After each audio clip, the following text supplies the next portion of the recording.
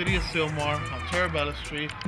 The house features four bedrooms, two bathrooms. We totally remodeled everything as you can see. New sod in the front, new sprinkler system, automatic, new slate, new entry, new windows. Come on in and let me show you the rest.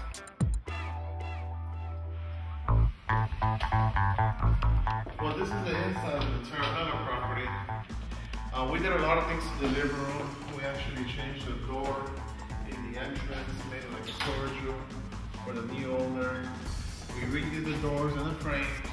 We eliminated a half a wall that was right here so we can make the living room bigger. We redid the floors, new floors, new windows, new of lighting, uh, new paint, base molding. You know, we actually painted the fireplace as well.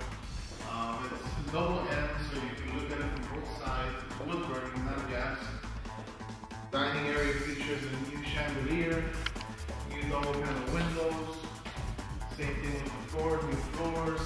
And since there's no wall dividing the kitchen, I implemented an island over here so you can have a breakfast, another breakfast area. New kitchen cabinets, real wood, granite countertop, Put recessed lighting, crown molding, new tile floors, and this is actually the laundry area. We left everything ready for the new owners with the hookups, the dryer vent, flat access to be to the backyard. First door to my right, this is where the heater is. Like I said, the whole house completely new doors with the frames, new bathroom.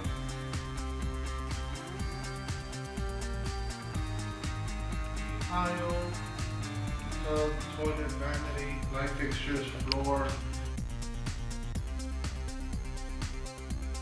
This is one of the bedrooms.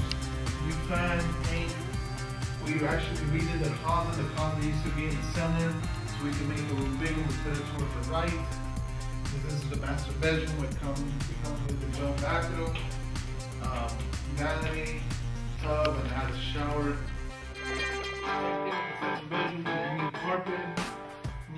Closet area, fan, base molding, and paint, new windows to make it, you know, bright and clear.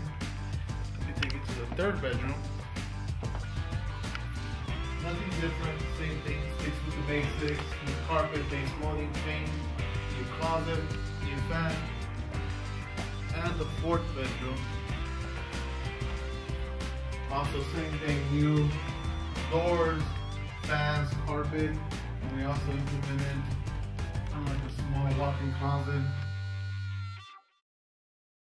Well, let me lead you guys to the backyard.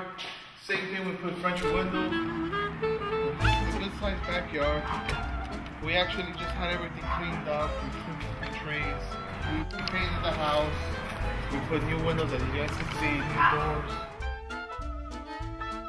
So follow me and I'll take you to the two car garage door. That space for two cars we actually redid the garage door. We got a new motor. So thanks for coming to this property. This property is listed on the market for $329,950 in the city of Sylmar. We have it in escrow right now for $340,000. We should be closing in two weeks. Uh, thank you very much for coming and viewing my property.